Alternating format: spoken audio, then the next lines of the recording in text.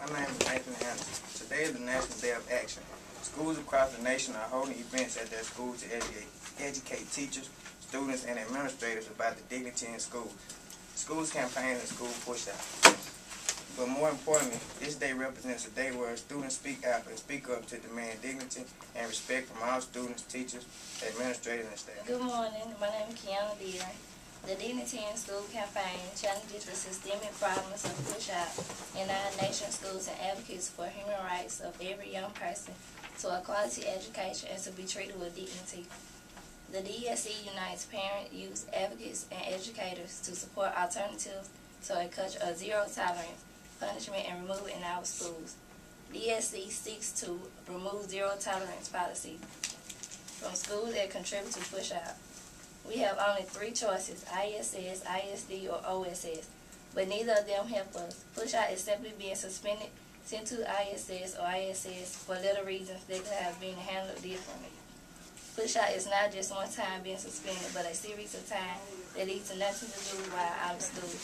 Coming back to school, getting in more trouble, and end up not caring, and lacking the passion for school and quality education. Many students end up in juvenile system, justice system because of push out. Good morning. My name is Shaquana Coates. We as students need to make a change first in ourselves, our education, and ultimately our future. We have to speak up when teachers aren't around us. We need to help make rules and policies that affect us. We can't allow other students to get in our way of what we are trying to achieve. Learn now, clown later. We can't allow a good quality education to pass us by. School is not a job for us. It's a critical foundation for our life now and in the future. We are the ones who have to come here every day and either get what's being taught or get left behind. Students, let's take this thing called education seriously because we need it to get anywhere we're trying to go.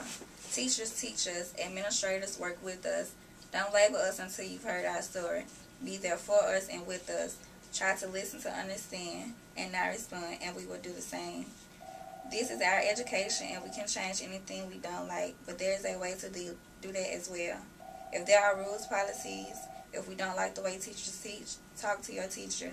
Help your teacher to understand that we need more. As students, we play a critical role in our own education.